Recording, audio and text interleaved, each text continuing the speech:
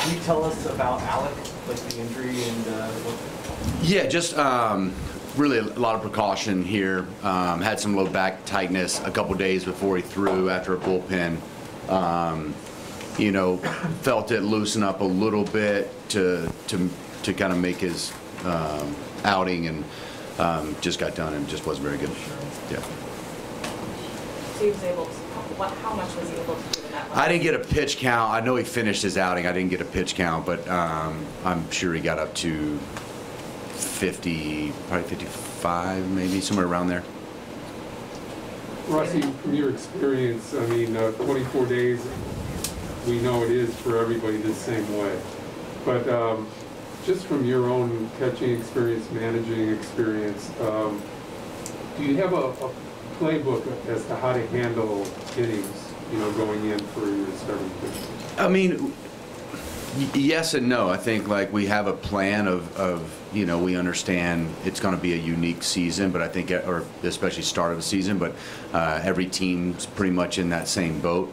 Um, we've got um, a lot of free agents late and guys still building up, but I also know that um, one game, you know, the plan can kind of go out the window and, and how you use guys and what who who bounces back faster than others and how guys feel after their first outing or uh, and how many days off they might need. So it's going to be one of those. We're going to try to be flexible. I think that's uh, a quality I've really learned uh, early on in my managerial careers to to kind of just.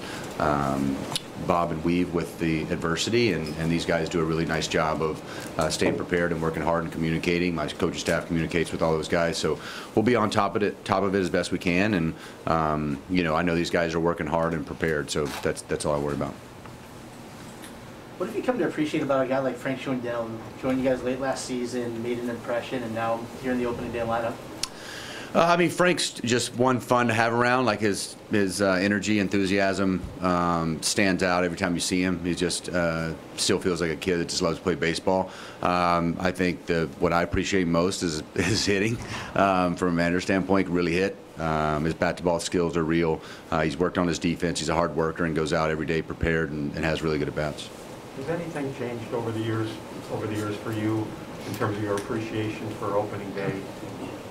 Yeah, yeah. I get fans for the first time today in my opening day, so that's um, that's exciting one for me for sure. I mean, my first opening day was empty, um, both both, and then we kind of trickled fans in as the season got going. So, um, I mean, going back to my playing careers, I think I, right now I really feel the um, for the players that are here. I think it's a really big deal to make the opening day roster. Uh, I go back to um, my first time I got to um, make an opening day roster in LA. Uh, Shawn Green, we landed in the in LA, and I still didn't know if I made the team. Shawn Green um, sat behind me on the bus, and he leans forward and he goes, "Rossi, you know you made the team if they have a picture of you on the side of the stadium."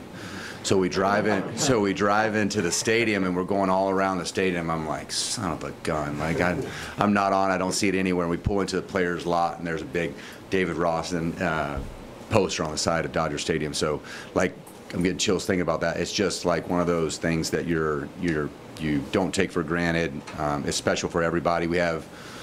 Should I count like six or seven opening day guys here for the first time today? So like I'm I'm I'm gonna uh, actually announce that when I talk to the team and, and, and congratulate those guys. It's a really big deal and something that I think guys will never forget. We talked with you about Ethan Roberts, but just in general, how was it to give that news to so many guys?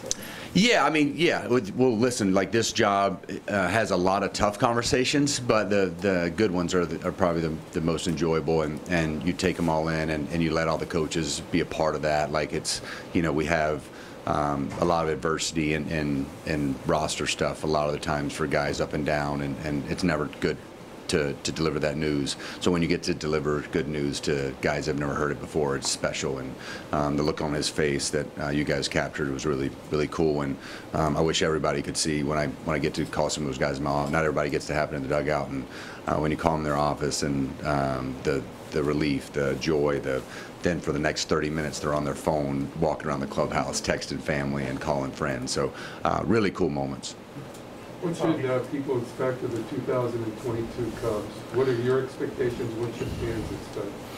Uh, my expectations is for us to uh, win ball games. I mean, like we're going to go out and compete really hard. I think it's a fun group. Uh, it's a it's a group that uh, gets along. A guy, a group that's still growing together. Uh, short spring training, and uh, these guys come to work every single day. Um, we're going to go out and try to compete every single day. I think the goal here is to win championships, as I always say. So we're going to work towards that. We're going to be better at the end than we are uh, right now. I'm, I'm sure of that, and um, I think we got a lot of talent.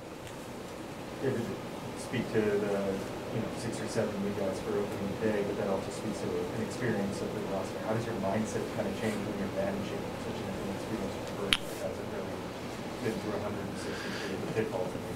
I think opening day is unique outside of experience. I think those are two different things. So um, I think we've got um, guys that are exciting about opening day, but they still they've competed in this stadium in front of fans, and so um, there's only a few of those guys that haven't. So I'm not worried about that too much. Uh, but the young guys, you try to get you know uh, a softer landing maybe, or or make sure to match them up, and things go wrong, make sure you put your arm around them and love them, tell them we got a long long uh, journey ahead, and um, if things go well, you put your arm around them, say hey we got a lot of adversity ahead. You know, uh, this is a this is a, this is one of those uh, uh, marathon roller coasters that um, I think uh, experience will bring knowledge, but um, until until we get to um, guys having that experience, um, you just try to try to use your uh, my experiences and, and our coaches' experiences to try to help them along and be the best major leaguers they can. As the manager, is there some sort of joy in knowing that you get to help them write a story of a season that, you know, hasn't unfolded yet? Absolutely, absolutely. I think that's the the perks of the job is that like I'm. I'm I'm in the team. We're all with this one big family that we're fixing to embark on uh, a six seven month journey, hopefully, and um, there's a lot of ups and downs within that, and, and, and they know that, and guys that have been around that. But um, the only way to get through that is sticking together, um, kind of lifting each other up through the through the, the good and the bad times, and, and trying to help each other along. And we're all going to hit bumps in the roads, and and we got to learn from those experiences and try to get better. From, a- from, I know, spring- go ahead. Go ahead. Oh, go ahead. Um, With, you know, some of the changeover in the roster in the last year, some of the, you know, players being less experienced, um, going into the season over the last few weeks, what have you seen as far as where the veteran leadership is coming from?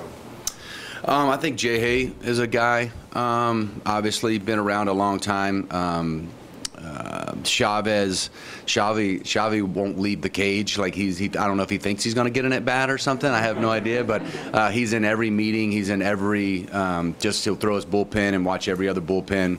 Um, we have those guys. Stroh, his work ethic stands out uh, when he walks around the clubhouse and his presence. Uh, Nico has a way about him that I think. Um, uh, delivers a lot of leadership and, and qualities and people that uh, you, you kind of you feel like he's a veteran and, and this is his you know other than the 2020 season this is his first opening day of just being a part with fans and stuff. So um, we've got a lot of a lot of guys Kyle obviously with the, the way he goes about his stuff. Our bullpen I don't have to worry about at all. We've got ton of tons of leadership down there uh, and CY does a really nice job. It- it's a it's a really good group. You guys will get to know now you're back in the clubhouse you'll get to see uh, what a what a fun group this is and, and guys have been around and um, you know I think they're they understand that this is a this is a unique place to play, and and, and they're- really feel fortunate, especially those guys come from or, or other organizations. Walking around the clubhouse yesterday, uh, you could tell the excitement on their face about the, the the setup here.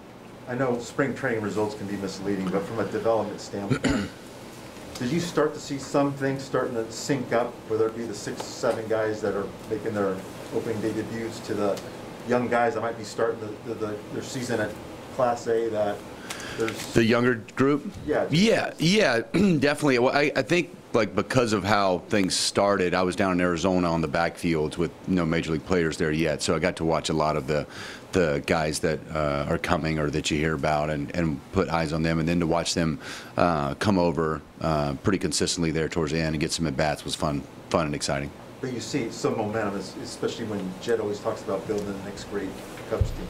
Yeah, I mean, uh, momentum. I mean, it's so far. Like my focus, Gonzo, was like on our team getting better. But I think there was, uh, like I said, excitement would probably be the word I would use.